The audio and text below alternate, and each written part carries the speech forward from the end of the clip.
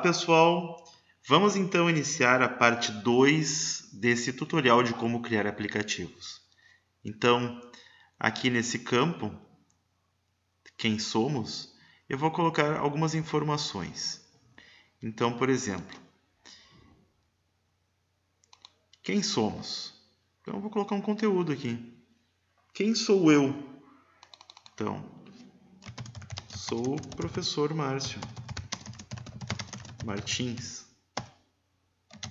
bacharel, opa, escrevi errado aqui, e licenciado em Química, doutor em Química Teórica, autor do blog Diário de um Químico Digital. Vou colocar aqui o, o endereço do meu blog, fazer um merchan, né? Sou professor na Universidade Federal do Pampa, campus Bagé. Participo dos mestrados profissional em ensino de ciências e acadêmico em ensino. Ah, botei uma breve descrição minha aqui. Título, se eu quiser, botar aqui professor. Meu nome. Opa, Errei aqui. E aqui um, um, breve resumo da minha vida. Né? Eu, por exemplo, adoro tecnologias e tento aprender o máximo possível sobre elas e, quando dá, ensino outras pessoas a utilizá-las para qualificar o ensino. Né? Então aqui eu vou botar o endereço do meu site.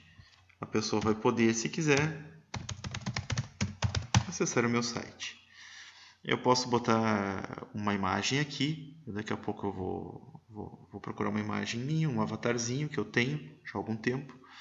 O meu blog está funcionando desde 2009 e eu pretendo levar o conhecimento químico e científico ao maior número de pessoas.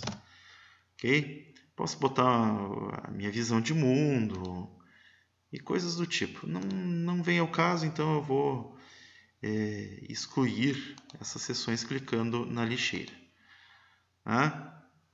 Posso mudar o esquema de cores da página e tudo mais. Mas não é o caso aqui. Tá? Então, está aqui o quem somos. Quando eu estiver satisfeito, eu vou salvar e terminar. Eu vou fazer uma pausa rápida no vídeo, porque eu vou procurar o meu avatar. Isso pode demorar um pouquinho. Depois eu mostro como inserir o avatar na página Quem Somos. Ok, pessoal? Então eu volto aqui porque eu encontrei a figurinha do avatar, vou clicar na foto e ele vai me remeter para o meu navegador de arquivos. Então eu vou entrar aqui, vou escolher a foto, que na verdade é, um, é uma imagem, né? Então não é uma foto real. Vou ampliar aqui um pouquinho para que ele leve todo o meu avatarzinho para dentro do aplicativo. Esse é um avatar feito é, no videogame Nintendo 3DS, que é um videogame que eu possuo. E acho que fica muito simpático um avatar ao invés de uma foto da gente, até porque o avatar é uma versão idealizada nossa. Bom, é, essa segunda parte do tutorial eu mostrei como editar a página Quem Somos. Então depois eu vou mostrar outras opções, em particular o leitor eletrônico o, a parte de vídeos ou canais de vídeos e a parte das pastas do Google Drive. Obrigado pela atenção e até o próximo tutorial.